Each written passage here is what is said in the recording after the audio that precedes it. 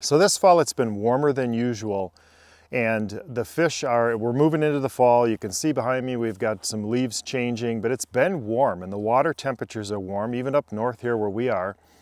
The water temperatures have been in the 60s. It's gotten into the 40s and it's gotten into the 50s and I think it's even dipped into the 30s a few nights, but then the days have been in the 70s and 80s and uh, we've had a lot of mild weather. So here we are sitting at the beginning of October and we've had a bunch of mild weather. And so while the bait fish thing is in full swing, make no mistake, the bass are feeding on bait fish, but things have, are not really that, you know, cool water, explosive time when you can just, you know, it's a melee. You've really got to kind of still work for them. And, and we had to do that in our championship. Top water worked a bit, but then the topwater bite died and we had some high pressure and some east winds and some flat conditions and things got weird. Um, so we had to move out to the weed line or to the break in areas where there were plenty of bait fish, but then we had to use a jerk bait. And, and I wanna give you a tip today when the water temperatures are where they're at, I'll give you some, some how to fish it tips, but also which baits might be better. Uh, and we'll start with how to fish it. So when we were fishing, you know, the standard jerk, jerk, pause, jerk, jerk, pause um, was not working. Uh, what, what I did notice, and thanks to forward-facing sonar, I noticed this, but there's ways you, you can experiment when you're fishing to not have to use forward-facing sonar. If you don't have it, you could just experiment. But knowing this is key, when the water temperatures are a little bit higher, like, like they are now in the fall, um, it's best to keep that thing moving. And we had to keep that jerk bait going. And if you jerk, jerk, pause, you'd get the fish's attention on the jerk jerk and then when you paused you lost their attention and they swam away. So you had to have that thing jerk jerk jerk jerk jerk jerk. It had to be moving. And uh, so very almost no pauses. If you paused it you lost the interest of the fish. And that was what was so nice about the forward facing sonar is we dialed in on that immediately saw that happen. We tried the standard retrieve where we thought maybe oh jerk jerk here they come freeze it in front of them. Maybe they'll grab it, maybe they'll get it on the next jerk. No, the second that thing froze, those fish swam off. They were looking to be triggered.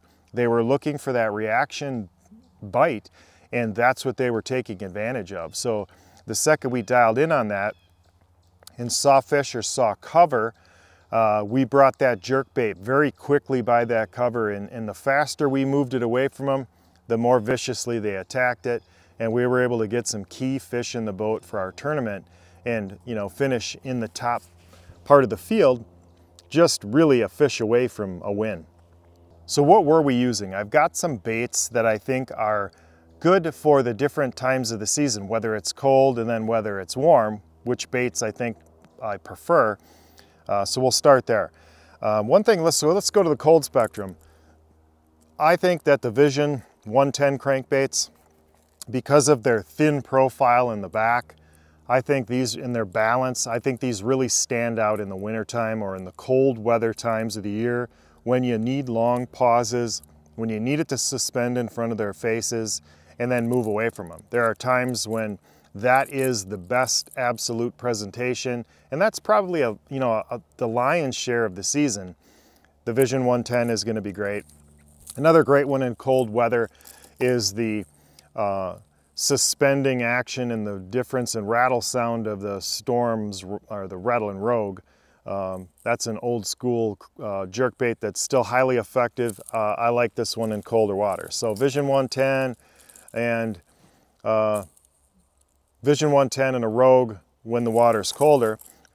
So on the warm end of the spectrum, I've got a couple of them that I like. One, I like the Berkley Stunna. I've got it here in a perch color. And then I've got the Six Sense Provoke also in a perch color. And these have a little bit more action, a little more snap action. You can really get these things to dance back and forth. They're very erratic. Um, this Provoke was a great bait for us here in this, in this championship tournament because it does have a very darting action.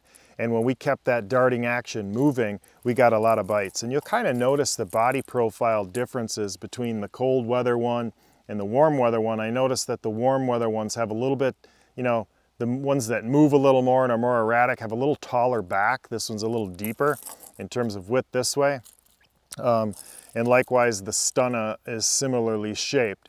So these baits, you could get a lot of erratic action on, and when we, we got bit, when we moved these things quickly, and if we suspended them, it was game over. And the one in the middle that I think you can use both times that can be effective is the Rapala Maverick. That one's got a unique little keel developed on the bottom of the tail here that you won't see on other jerk baits. And this thing you can get to dance back and forth too.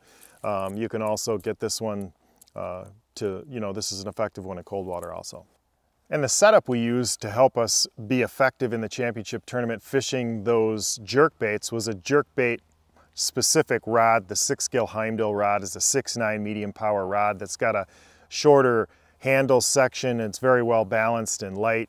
And we used the Sixgill um, eight to one gear ratio hammer on there. I like a high gear ratio when I'm snap, especially when I'm fishing quick like this. I want to be able to snap this thing fast and continue its movement so I'm taking up line as I'm snapping the rod and it's a light setup so that I can impart all that action on it and continuously. So you've got to have a you know, a good balanced setup for it. You can use a medium action uh, bait casting rod will work too, but this technique specific one is really geared towards having the right stiffness in the tip to be able to move that bait around and then have the give in that first third of the rod to help you land a fish on a treble hooked bait. So very effective there. We used 15 pound braided line for a line management uh, considerations and then we used an 8 and a 10 pound fluorocarbon leader, that's just for abrasion resistance and, and, a, and a little bit of give to help the rod out uh, because we're using braided line for line management. And made a lot of casts. Uh, we, again, we're using some forward-facing sonar, but if you don't have it and you get to be this time of the year in the fall, find the bait fish, and they're real easy to find because up in up north here anyways, the loons are out there on the ends of these uh, points and these breaks and they're feeding on bait fish, find them, work yourself down that break and uh, get off the break in say 8 to 12 feet of water and cast your jerk bait parallel to it and then experiment with the cadence if you can't see the fish. But uh, this time of year when the water's in the 60s yet, uh, before it really takes a nosedive, uh, you've got to be moving that thing pretty quickly. So had a lot of success doing it. Uh, experiment with your cadence and be faster when the water's warmer and they'll load up and stop your rod on you. And, and there's nothing more fun than having that movement going and you're fishing along and having that thing just lock up with a nice fish and we caught some beauties on it. And so uh, I think if you do this, you'll catch some too. So hope these tips were helpful. Please like and subscribe and we'll talk to you next time on the water.